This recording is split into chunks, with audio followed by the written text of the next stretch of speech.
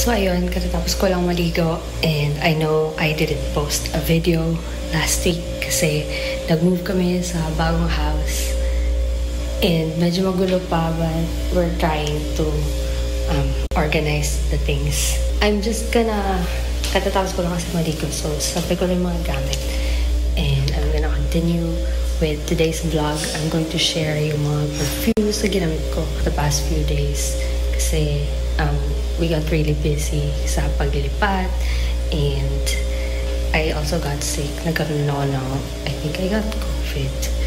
But um, medyo po okay na ako and I decided to share yung mga scents na ginamit ko that actually comforted me on days na ayaw ko perfume. Hello! It's already 1.14 a.m. and maingay pa rin yung mga aso ng kapitbahay but I don't care. I'm just gonna press record para matapos na to. Today, I'm gonna share yung mga perfume na sinuot ko noong mga time na naglilipat kami papunta sa bagong house. Um, I don't know if you noticed, pero medyo iba na yung sa background. Plain pa rin naman, pero um, medyo may space na ako dito.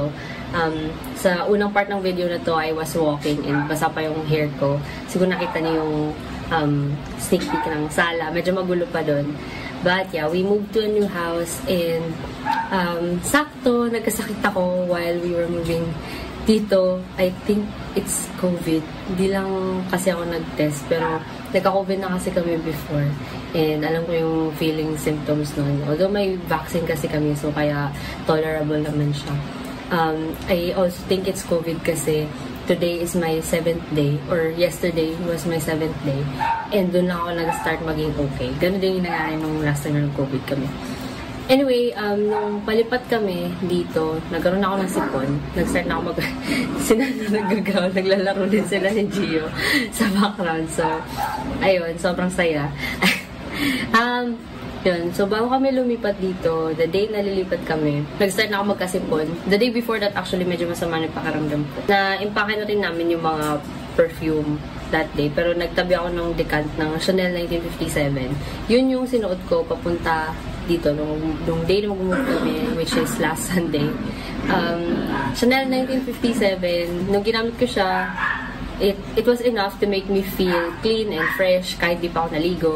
But it didn't really help my runny nose. Kasi yung powdery vibe niya ata parang, although on a normal day, gustong, gusto ko yung perfume na yun. Pero on that day, parang medyo irritating lang siya sa nose ko yung powdery vibes ng Chanel 1957. Kasi nga, powdery musky, clean yung vibe nun. And I wanted to sneeze a lot because of the powdery scent. But yeah, I still loved it. It lasted the entire day, kahit pawis-pawis, mamainit sa labas, umuulan, nagpapalitan yung, yung panahon sa labas. Ayun, we were cleaning, we were, um, nagdadala kami ng mga gamit. Kahit mainit, kahit magulo yung panahon sa labas, I still smelled really great. My boyfriend is in the same room, naglalaro siya ngayon ng Grand Chase. And I don't know kung naalala niyo yung amoy ko nung araw na yun, but I will ask him. Hello! Naalala mo ba yung amoy ko last Sunday? May napansin ka bang amoy or what? Hindi ko. Seryoso? Hindi mo maalala. Wala. May. Wala. Yung bago tayo pumunta dito, wala ka man lang naamoy nung nag-spray ako sa bahay doon. Ayun, basta yung sinuot ko. Wala pa akong full bottle nun. Nakuha ko lang yung decant nun kay Joyce Fines sa Instagram. Si Joyce Fines, nag, ano siya, nagdedecant siya ng mga perfumes din. Yung mga small decants din. Pero at the same time, nagdedecant din siya ng parang siguro kung mabibili siya ng 100 ml na bottle, ididikan niya yan into 20 ml, 25 ml, into small pretty bottles. I-design niya rin yung bottle para mukha siyang, um, kung ano, Louis Vuitton Afternoon Swim or Chanel 1957, magpapaprint siya ng mga fonts. Cutesy naman yung, yung bottle and almost similar sa original bottle. Yung juice na nilalagay niya doon, syempre yung galing pa rin sa 100 ml na 100 ml na bottle na binili niya. It's a great way to buy a perfume without buying the actual full bottle kasi sobrang mahal minsan ng ibang perfume. And sino, I don't think, as someone kasi na nag-explore ng scents kagaya ko, I can't finish an entire bottle by myself. So, it's a great way to save money na rin and experience a perfume. Next sense is si Jenny Glow. Ang nakalagay dito, wood and sage. This is actually kilalang perfume dupe. Meron itong EDT version, pero yung kinuha ko yung body spray version kasi um, it's wood and sea salt na dupe daw by Jo Malone. And yung scent na yun, kilala siya as something na nawawala agad. So, I prefer that as a body mist na lang. Yung parang papaliguan ko na yung sarili ko and hindi rin naman siya offensive kapag ginamit. Ayun, um, this is the scent na ginamit ko nung hindi pa kami naglilipat. Nung naglilinis pa lang kami sa bagong house, preparation before moving in. Sobrang init tong araw na yon. It was so humid. Araw. Ay ayaw magsuot na ibang perfume. Ito lang. Sobrang fresh lang ito. May umiihi. Mm, yes. Mm. Wait lang. Sino ang may salarin? Gusto niyo makita yung may salarin? Ito, ito, ito. Itong asong to, umihi. Ya, boy, boy. Umihi na naman daw. Umihi na naman ang boy, boy. Ito, boy, boy. Ow! Boy, boy. Ito yung ano, rar ng rar sa background kasi ina-attack niya si Gio Boy Boy.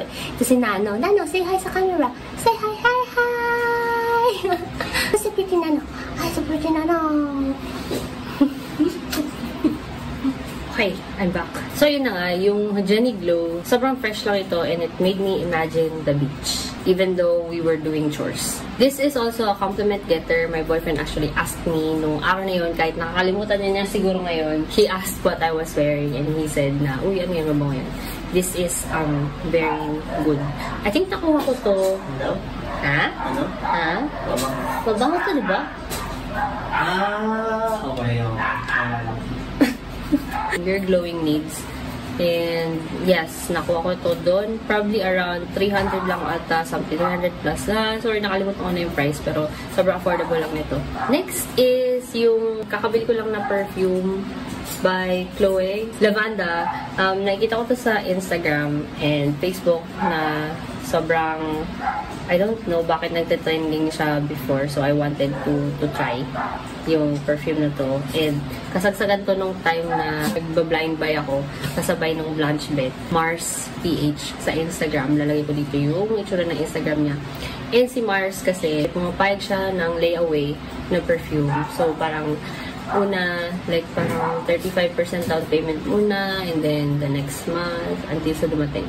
Which is, parang naging kaya tuloy to bilhin because of that. Ginamit ko to last week for like two days. Both on hot days and it lasted almost the entire day. The initial spray gave me a fizzy, sparkly lavender with a slight citrus scent. Then it dried down to an almost masculine but not entirely masculine or for men kind of perfume. I think both men and women can wear this. I mean, wear whatever you want pero ito yung perfume na parang feeling ko bagay both men and women. Parang may unisex vibe siya. It kind of reminded me of Dolce and Gabbana Light Blue But I know magkaiba sila. Pero parang yun yung naalala ko nung ginamit ko to. This one is calm, clean, refreshing, comforting, and almost dreamy. I would love to use this perfume more often. It's perfect for hot and humid days. It's refreshing and it's perfect for an after shower spritz. Next is technically not a perfume but it's a perfumed body wash. It's Penhaligon's Luna Body and Hand Wash. If I'm not mistaken, ako to kay Perfume Closet on IG. Lagi ko picture ng Instagram niya, but don't DM her sa Instagram. Just message her sa Viber or join her Facebook group. Forgot the price though, kung magkano to. Uh, 1,000? 1,500? Basta hindi siya magto 2,000. I think. Basta siguro mga around that price range. I forgot na. Sige, matawin ako. For the past few days, I have been reaching for this perfume. Ay, perfume. This body wash. Because it was very humid and I felt really sticky. This would just make my bath extra relaxing and it boosts my energy. We have been cleaning non-stop sa bagong house kasi marami kaming mga gamit. And this just gives me the reset that I need. This is what I've been using kasi I want to go sa spa pero I can't. But this one just makes my baths luxurious, relaxing, refreshing, and energizing. Of course, it smells like the perfume, yung Penhaligon's Luna, with its fizzy um, citrus rose petals. It also does not dry out the skin and I think it's probably because of the vitamin E, glycerin, and panthenol in it. Wala kasi yung ano, yung parang tight feeling. Alam niyo pag nagsasabong kayo usually, parang binalawan niyo, parang mm, mm, squeaky. Ito wala. Um, I think dahil nga dun sa ingredients niya. So yes, um, definitely try this one. Next is my ever favorite Glossier You. I wore this yesterday kasi wala talaga ako sa mood magsuot ng kahit na anong pabango. Kasi sobrang pagod pa ako. I still had runny nose and non-stop coughing. But I knew this would never fail me. It was just so comforting, familiar, and compared to the usual woody and pink pepper air-conditioned vibes I got from this perfume. I got a sweeter, glossier you yesterday. Almost creamy but still fresh and clean. Next is the Pig Udasons. Nakuha ko yung samples na tigwa 1.5 ml from Joyce Finds again on Instagram. Marami akong nakuha sa kanya last month and tinatry ko pa rin sila. Di pa ako tapos. I recently heard that Udasons is I use perfume Which is interesting kasi this one gives me caring mom vibes. I saw a TikTok video of her na parang pinapauwi na niya yung mga teenager or yung mga younger audiences niya kasi super late na and baka mag, mag-worry yung parents niya which I think is very nice of her to do kasi parang may, may meron siyang responsible tita or mom vibes which means she really cares about her fans. To me though, this reminds me of my tita. She has this scent that is super similar to Uda Sons but I think she wears something else some, like a different perfume. Or maybe that's just how she smells naturally.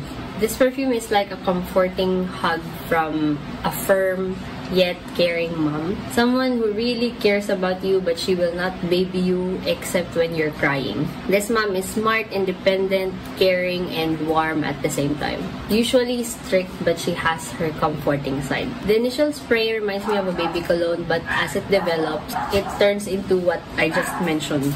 No longer a baby cologne but a slightly sweet white floral, not gourmand sweet but fresh sweet. Musky, clean, like freshly washed and ironed clothes without the laundry detergent smell. It has juniper berry, so I think that's why I like this perfume. Kasi ay ayoko ng um, orange blossom. I don't think I like that. Meron din ditong orange ata na, na note. I forgot. Pero I think the reason why I like this is because of the juniper berries. Finally, by Redo Balda Freak. It's my perfume today. Today, I'm feeling a lot better. Pero I still need to recover. Kasi tumutulo pa rin yung sipon ko from time to time and non-stop pa rin yung ubo ko, yung parang mamatatanggal na yung alangal ako kapag dry yung throat ko. But today, I decided I wanted to wear by Redo's Balda.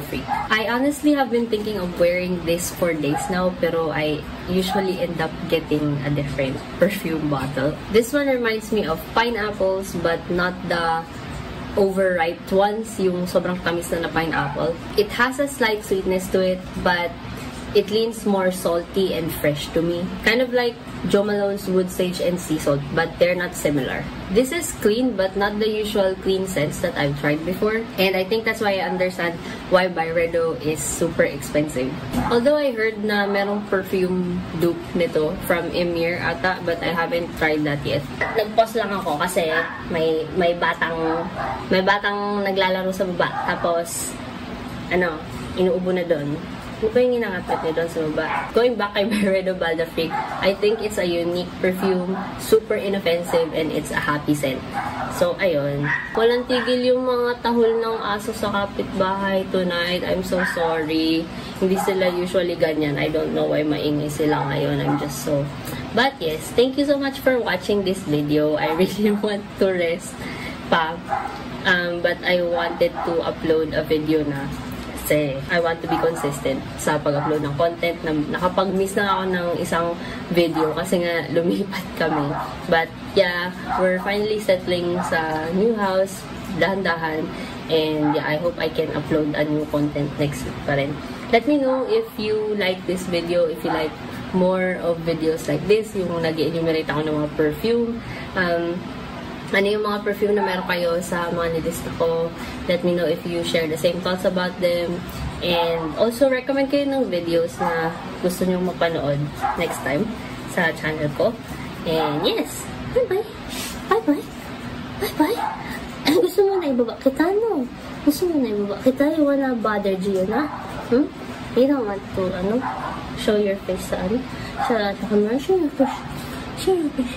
Ay, Shaka. Who's the pretty girl? Who's the pretty girl? No, no. Sige na.